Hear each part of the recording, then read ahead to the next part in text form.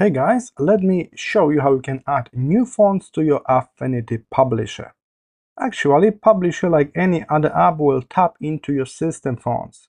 So if you are a Windows user, Mac user, or iPad user, the process will be a bit different.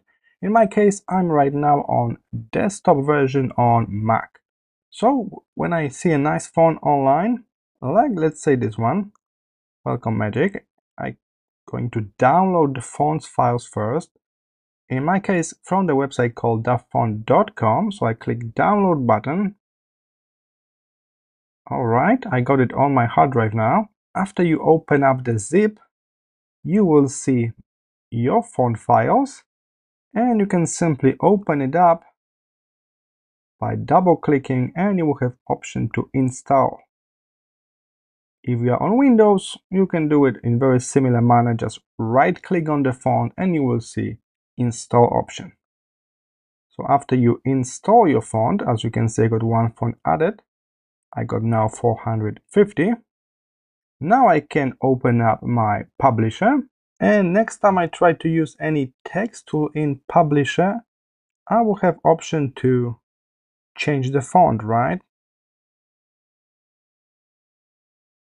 So at the top left, I see the font name. It's a bit helpful if you remember the new font you just installed because you can tap the first letter from that font name. In my case, W.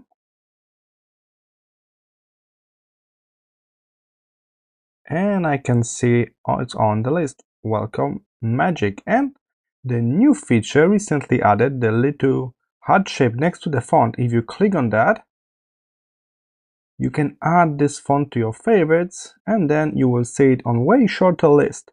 So I don't need to see all of my 450 fonts. I can go to recent, use in this document or favorites. And here it is at the very bottom.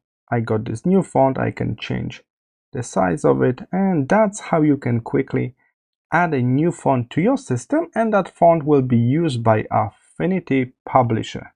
I hope this short tutorial was helpful. See you in the next one.